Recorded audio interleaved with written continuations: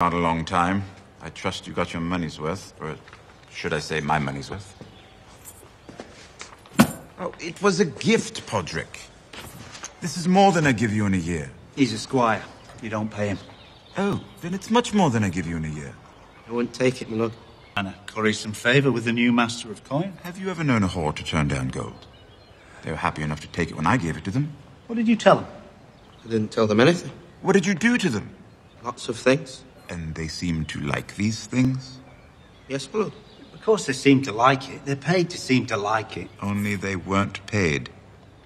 What are you saying? These ladies enjoyed him so much they gave him the time for free? Is that what you're telling us? Sit down, Podrick.